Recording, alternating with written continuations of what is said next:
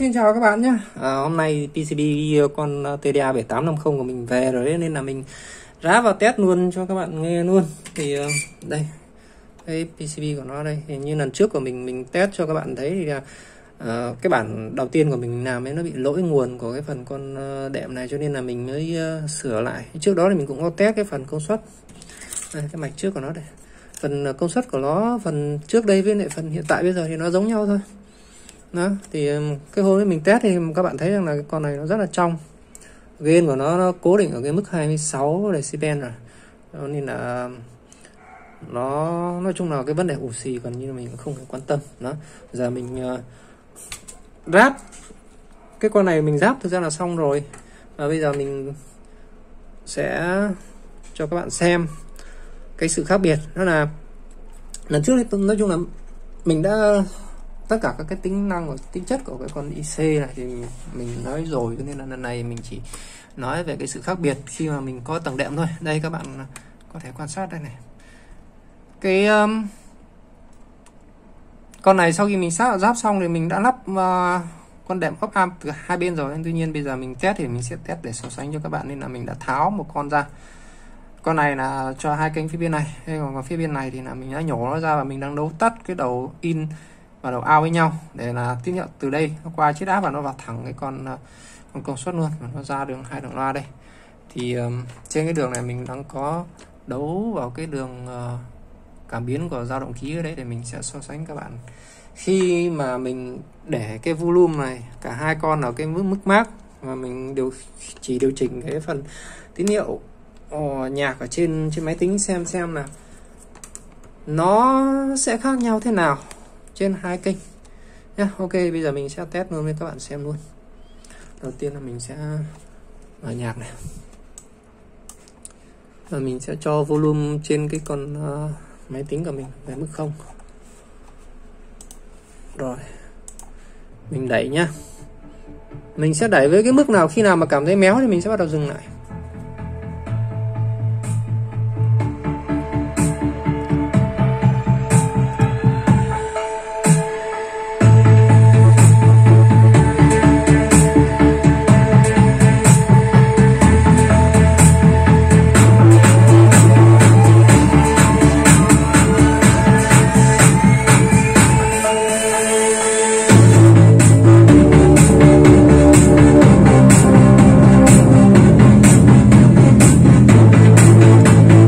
Các bạn có thể thấy ở trên cái cái đồ ký của nó đến khoảng tầm tầm này.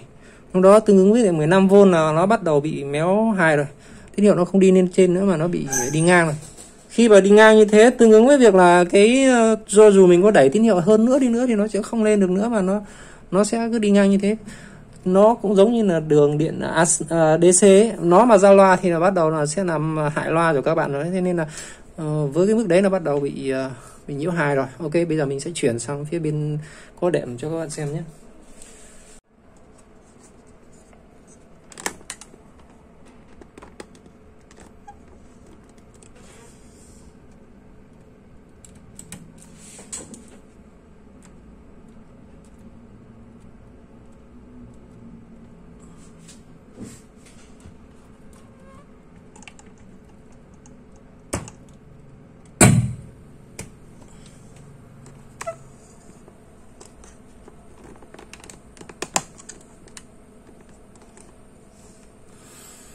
Rồi ok mình đã chuyển tín hiệu từ phía bên uh, bên phải của mình sang phía bên trái và đã chuyển cả luôn cả cái uh, đò giờ của dao động ký nhá. Mình uh, cũng vặn mác volume của con này lên chung đó bây giờ mình sẽ test luôn nha. Cho các bạn xem nhé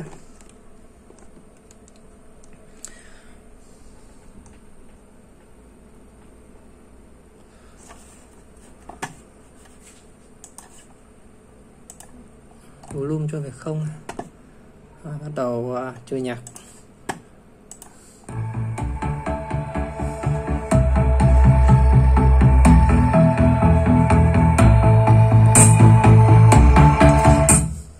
Mình dừng tạm cho bạn nghe nhé. Các bạn cảm giác cái tiếng bát của nó cực kỳ là nó, nó, nó chắc nghe cái tiếng bát nó lực lắm.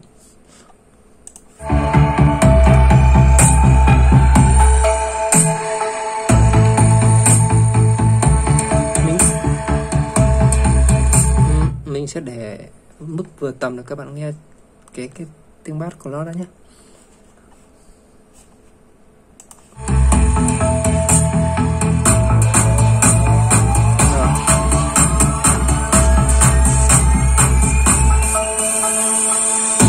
Ok bây giờ mình sẽ đẩy cái uh, volume của nó lên cao.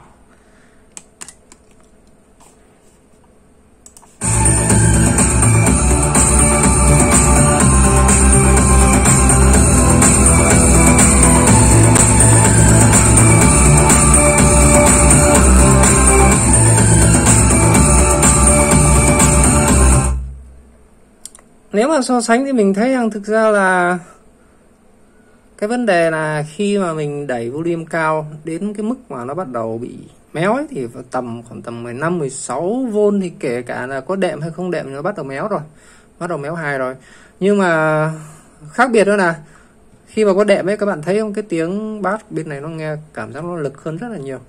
Trong khi đó thì đối với cái trường hợp mà mình không có cái con đệm ở đấy thì cái tiếng nói chung là nó đều đều tất cả các giải. Và nó cảm giác như là nó tập trung vào giải chung rất là nhiều. Vậy thì rút ra một cái kết luận nào? Nếu mà trong các trong trường hợp mà các bạn chủ định là các bạn muốn đánh giải bát mạnh này mình thấy chiếc cũng rất là tốt thì các bạn có thể chơi với bản mà có đệm ở đây. Đó. Còn nếu mà các bạn chỉ nghe với cái mức công suất nó vừa phải 45W trở lại thì uh, âm thanh của nó nó đều tất cả các giải rất là tốt. À, ok. Thì nói chung là cái mạch này thì ờ, mình thì mình chủ định là mình để thử luôn cả cái tính năng uh, hôm trước mình có nói đó là cái tính năng chơi biam á nó là hai đường phía bên này sẽ điều khiển riêng cho đường bát hai đường phía bên này là điều khiển riêng cho đường chép riêng. Và tất nhiên rồi đầu trước của nó thì sẽ phải có một cái mạch uh, phân tần chủ động. Uh, mình có mua một cái mạch uh, pre